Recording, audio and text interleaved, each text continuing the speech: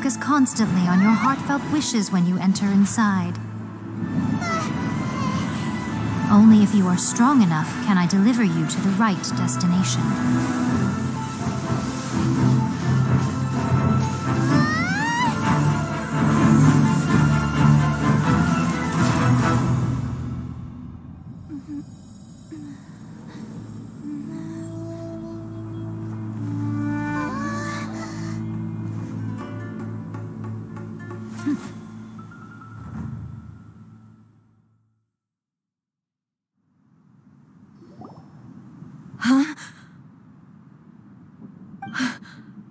How can this be? You have returned. But how were you able to get back in? And how come you have not changed at all in all these years? This is a duel to remember. It is as if we have returned to the moment when the laws of eternity were first established. Your will today is as strong as it was back then. Over countless battles, not once have you lost, and never have you shown the slightest hesitation. Had I made all enemies of eternity stand against you, you still would not have wavered. For your firm commitment to enforcing the rules, you have my admiration too. You bring honor to the title of Guardian of Eternity. Now these two return once more to this space. Hmm. An inevitability of fate, perhaps. Then, let this be our final duel. The conclusion to that which began 500 years ago. Final duel? Huh. So you're finally willing to... Stand back, Traveler. I'm going to be the start of something new. The time our duels took to fight was long enough to witness the rise and fall of nations. The energy they consumed, great enough to vaporize the oceans and turn day into night. And the will they demanded,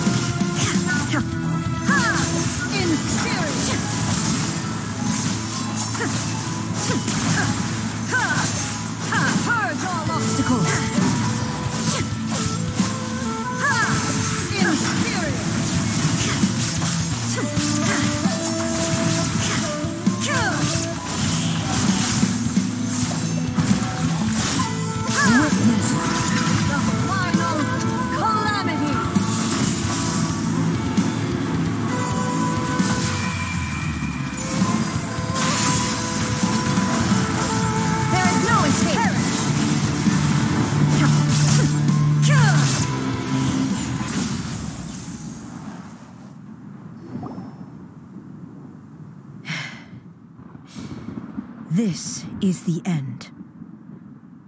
You have won. I believed you were incapable of transcending the past. But it seems my belief was baseless, and I underestimated your spirit. but a will that cannot be eroded has no way to embrace the future. You need not worry about the future. And you aren't alone. I know your power more than anyone else. Had I relied upon my strength alone, I would have lost this duel for sure. Yet, my reason for fighting redefined my martial prowess and redrew my limits. I now carry the gaze of the myriad of expectant eyes that look to the light in the heavens. And whenever I think of this, I feel something stirring within Musou Isshin. The blade that I inherited from Makoto seems to be trying to guide me, to encourage me. I noticed it also. Just now in the heat of battle, it seemed to unleash a new and unfamiliar power. This power is beyond the limits of my understanding. This blade belonged to Makoto. Perhaps it can only respond to me with its full power when I truly understand and believe in her. Hmm. when I clasped Musou Isshin in my hands, I had the feeling that she was by my side once again. It was at once a familiar feeling and a strange one. Makoto barely wielded a blade in her life, and yet her blade brings me closer to her. You have my approval. Your present will is not the product of erosion. I shall no longer stop you from attempting to modify the rules. From this day forth, this body will remain your assistant. I won't design any more rules that can never be changed. You used to represent my past, but from today onward, you are me. Makoto never saw me as a fearless weapon. Likewise, I should not regard you as a mere tool. Huh. You truly have changed. I suppose this is what humans call growth. I understand. I shall become your shadow, just as you were once Makoto's shadow. The duties I perform will not change. But as a warrior, I look forward to the chance to fight like this again in the future.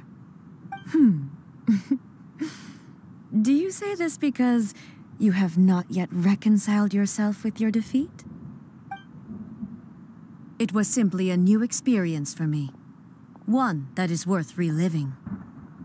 Have you finished fighting then?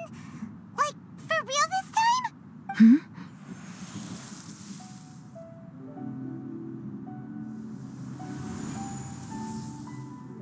Hello, Ei. And greetings, those who have come to bear witness.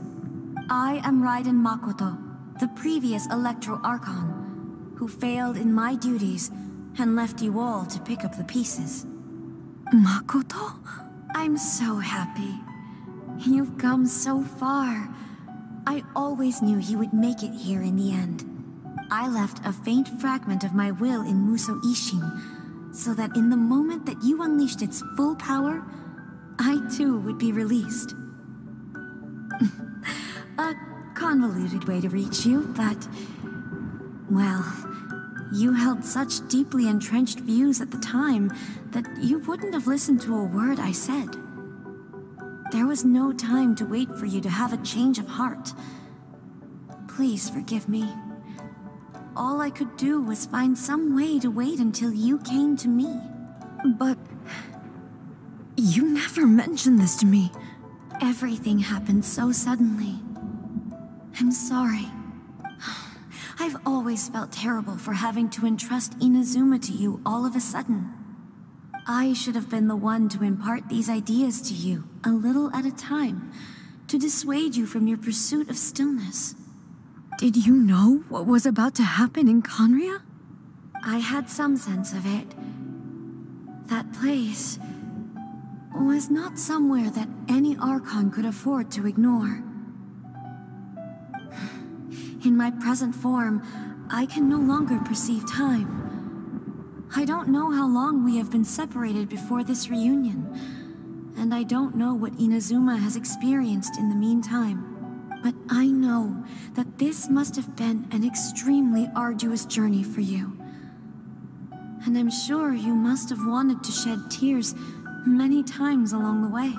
Don't look down on me. See? You admit it. It was with this possibility in mind that I left a parting gift for you. Something to soothe Inazuma's pain. Here, take it. Before my last shred of consciousness fades away. But it is you who must take the most important step.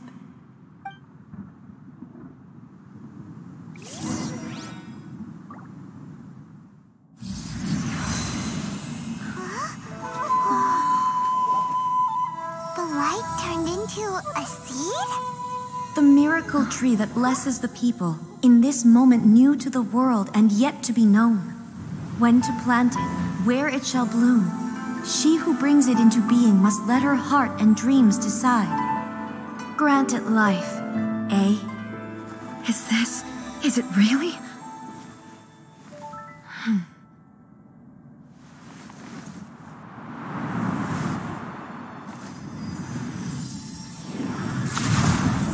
Eternity extends time into infinity.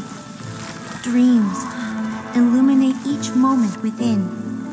When both shine in unison, the sacred Sakura blooms from the darkness, finally free from the clutches of the heavenly principles. Now the nightmare has dissipated, and reality is made whole.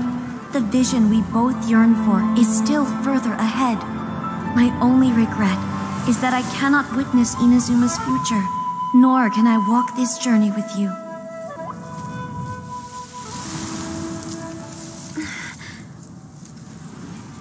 Do you know, Ei? I am so happy right now, because my final wish has now come true. Your polearm once protected me from countless calamities. For this, I've always felt indebted to you. Though I could never repay you in full, this sacred Sakura will buy you some time until you are ready to awaken and embrace the new. What do you think? Did it do the trick? this time, it really is goodbye, eh?